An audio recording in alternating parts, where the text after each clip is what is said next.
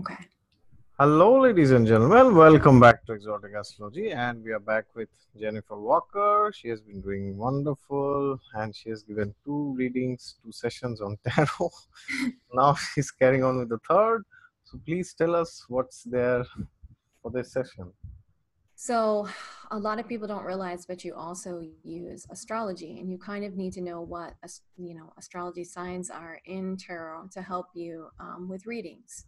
So, I mean, it's not necessary, but um, it does help to understand um, to understand the personalities of the people that are coming in. If you're doing a relationship reading, or you want to get involved with somebody in business, and you want to know who this partner is and like how their personality is going to be, the only way you really can know that is if you know what their astrology is. Like, what is the personality going to be like?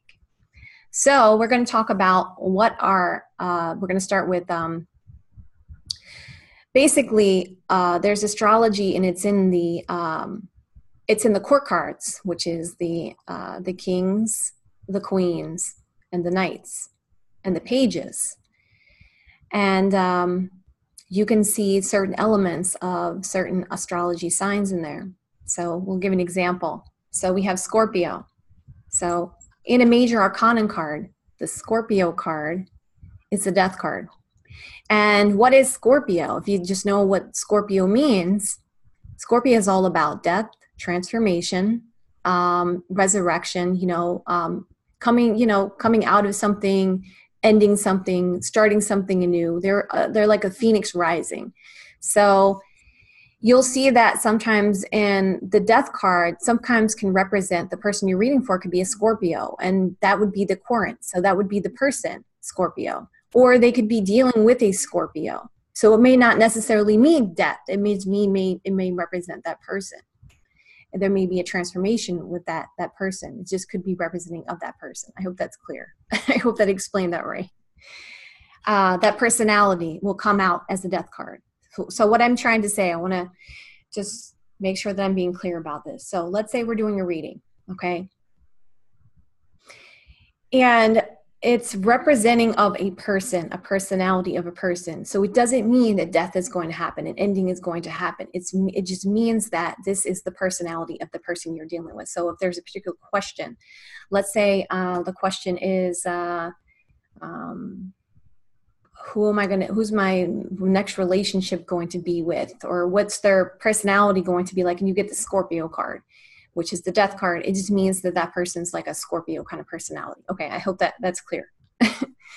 so, and also in a love reading, you could also look at the court cards the same way.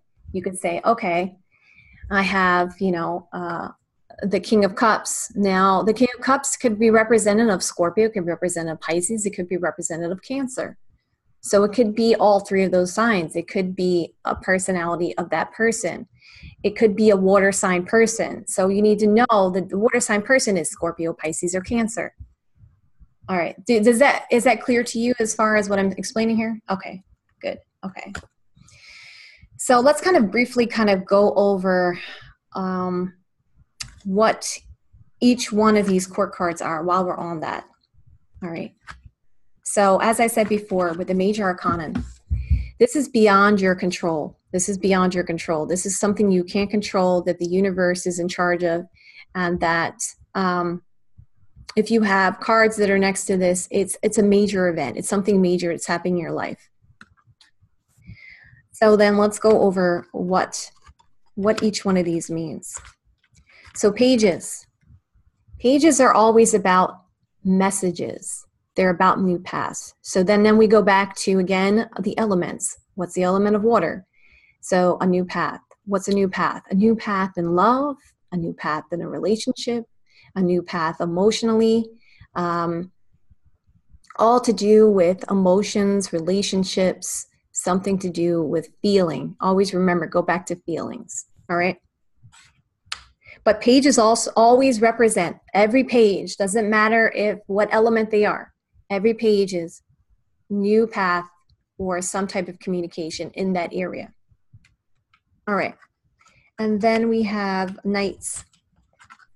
So you have the Knight of Cups. Same thing.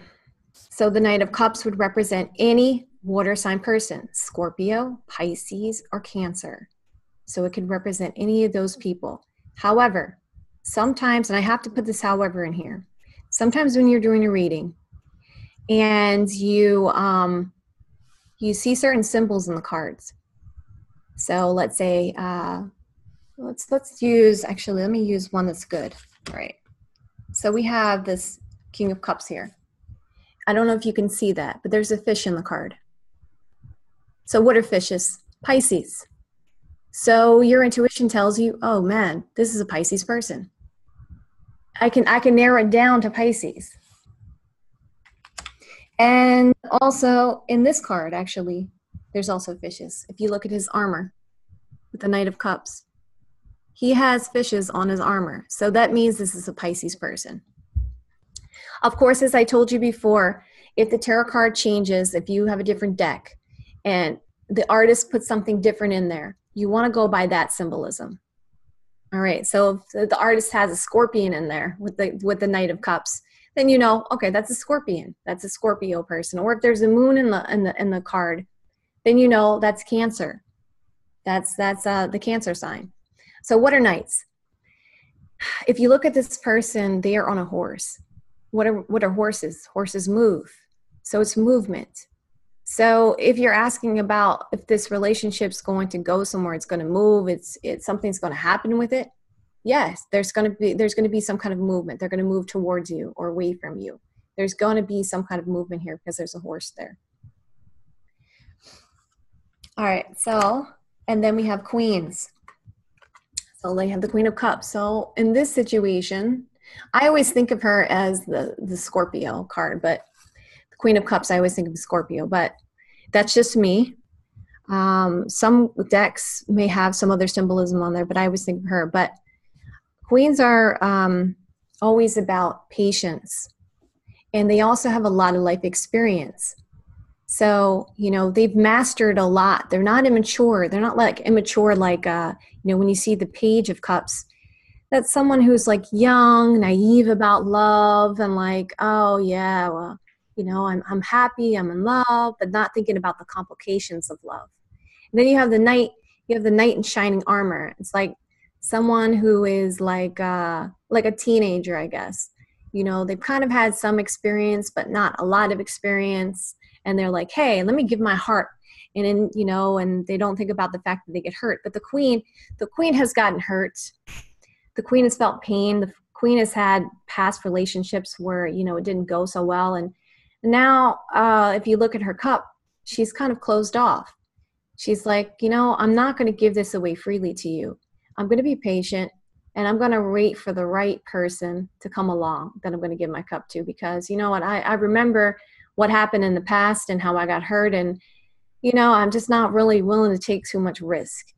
But on the same token, when she does give her cup to you, she knows what she's getting into. She knows that she's ready.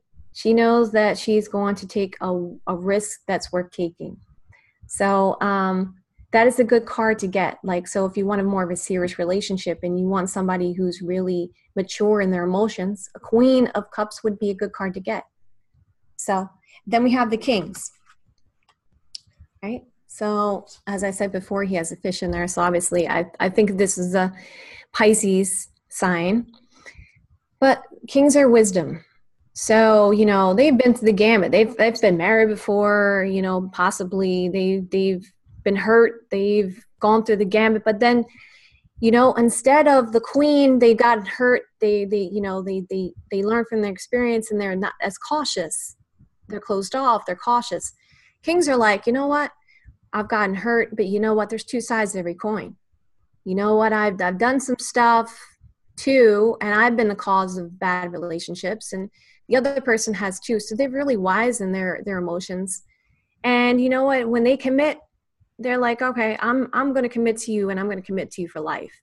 I'm going to get married to you, and I'm gonna I'm gonna go through with you on thick and thin on this you know this is this is going to be a long term thing so if you get a king in a relationship reading that means that person is is really in it they really want something long term they really know what they're getting into and they're really wise in their decision making when it comes to emotions okay so we went through the astrology for the cups. Uh, actually, I don't know if I did I put the show you guys the moon card. No, I didn't. Did I? One second. Give me one second. I thought I took it out of the deck, but of course, no. I wanted to show you the Cancer card, but it doesn't want to be shown today, so so I guess it's not going to be shown. Ah, I thought I took it out. All right, we'll just keep moving on. That's fine.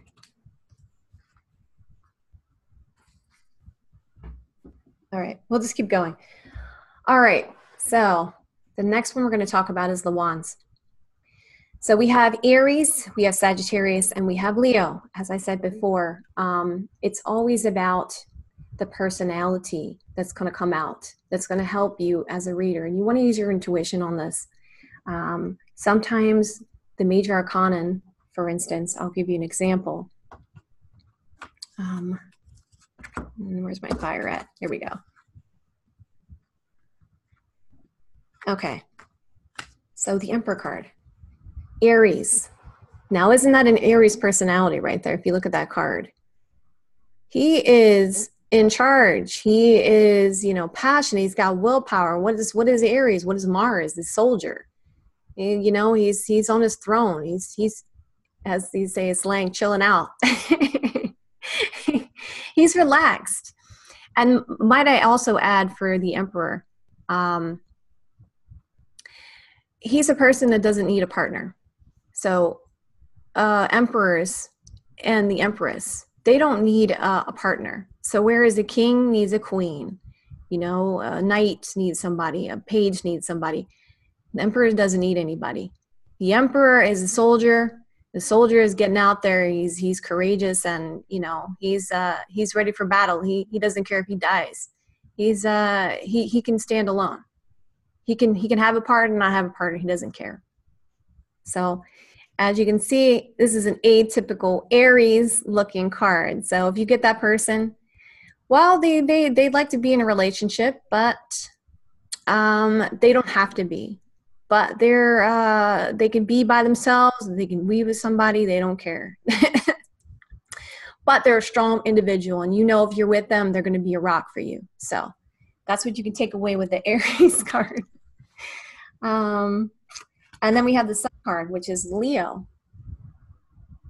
And obviously, Leo is representative of the sun, right? Leo's the sun. And um, we got sunflowers, which is also a symbol of the sun. So it also helps if you study symbolism as well. So if you get this card uh, and you keep getting like, let's say you get like uh, the strength card. That's another good one. I don't think I have that put that down, but anyway, the strength card is another good one. It has a lion on it. Obviously, it's going to represent a Leo personality.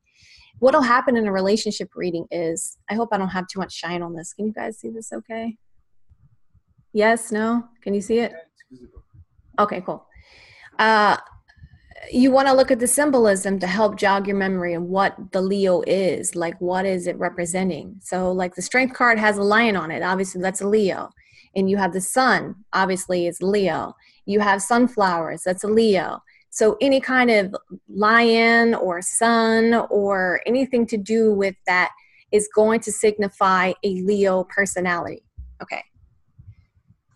So, and also why we're on this again, We'll go back over this again. Oh yeah, I did have the strength card right here. See, there's a lion on there. Leo. That's a Leo personality, which is the strength card. And then you also go back, uh, you can also kind of like, if you get this for a personality, it's a Leo personality. Um, and they, uh, they may have some issues with controlling their, you know, sexual desires. so it, it could represent Leo, but it also, you know, the warning to you, like, well, you know, be careful. anyway, so because uh, you're going back to the elements again. What is fire? Fire is passion, is willpower, is sexuality, is creativity, so forth. And that's how you also interpret it with the court cards again. So we have the page. Page of Wands. Pages always represent something new, right? A new path, a communication. So, what's this communication going to be? What's this new path going to be? Always go back to your elements creativity, uh, passion, um, you know, uh, desires, you know, moving forward. Some kind of movement's going to happen with this. You're definitely going to hear messages of passion, right, with the page. Uh, then we have the the Knight card, Knight of Wands, which I don't really like to get for relationship readings, honestly, because this is the player card. This is this is the guy that's he's so passionate. He's like going in and out of different areas. it's it's a movement card, so it's it's a uh, you know the Knight of Wands. He's all about uh, movement because the Knight of Wands is always about with the horse. It's always about movement. Obviously, he's very quick, quick so he's very passionate. He's very uh, um, uh, creative. You know, he's very this, very that, and like a teenager kind of energy. You know, he's he has this. He's not quite mature yet. Hasn't really experienced everything as of yet. So he's he's he i'm just saying he because of the fact that the, the Knight is is a guy on there so i'm i'm this can be general uh you know gender neutral so you know he's he's not really a good card to get in a relationship reading. So I, I, I, see this card as the player type because you know they haven't really had enough experience yet. They're still kind of exploring their sexuality and they're kind of like you know still doing their thing. Sorry. So then we have the Queen, the Queen of Wands. Now this is an interesting card because this is uh this is definitely a Leo energy because we have the sunflower. But if you look at the cat, what do cats represent? Think about what cats represent. What's the symbol for a cat? Cats are they want to be bothered when you when they want to be bothered with you. When they want to be bothered with you, they'll be bothered with you. So then you have to think about that with the queen. The queen of wands is the same way. She's like, well, I don't want to be bothered with you today. Leave me alone. oh, I want to be bothered with you today come on, let's go hang out. you know, she has that kind of energy, but she is very passionate, very creative. She has a mastery of those things. She has experienced in it. She's experienced relationships. She's experienced creativity. And uh, queens are always about experience. But when we talk about it in the sense of fire or wands, we're talking about it in passion, sexuality, uh, creativity, willpower, so forth. Okay. So we always think about it. We always come back to those things. And then you can also throw, you know, what you know about a Leo onto it as well. So if you know anything about astrology pertaining to Leos, then you can throw that on the card as well. So, and then we have the King of Wands. So this guy, you know, he's he's had experience. He's wise. Kings are always wise. So he has experience in his passions. He's gone out there. You know he's tried a lot of things. He's been passionate about a lot of things. He you know he's he's done a lot of things and he's now he's like all right i know what i want. I know how to go get it. I know how to control my passions. I am stable. So if you get this in a relationship this guy is a lot of fun and he is or girl is a lot of fun and they also are stable in their and they're controlled. And you know they're not so uh, so you you meet people that oh i'm going to go do this and they just go do it. Or you know i'm going to go travel here and they go travel there. But they don't think about the consequences of that action right? They don't think about the consequences of those desires that they have but the king has he's gone through that he's like man if i go and i follow this passion this is going to happen if i do this this is going to happen so he's a lot more controlled and he's relaxed and he's sure of himself so that's a good card to get okay so that is for the uh, Aries, Sagittarius, and Leo. So All right. So do the uh, remaining in the next uh, part. Yeah, that's fine. Okay. So thank you very much for your time and stay tuned. this is like a never-ending session. okay, bye. And if you're not watching the other parts, then please watch it and watch the next part also. Okay. Bye bye. See you.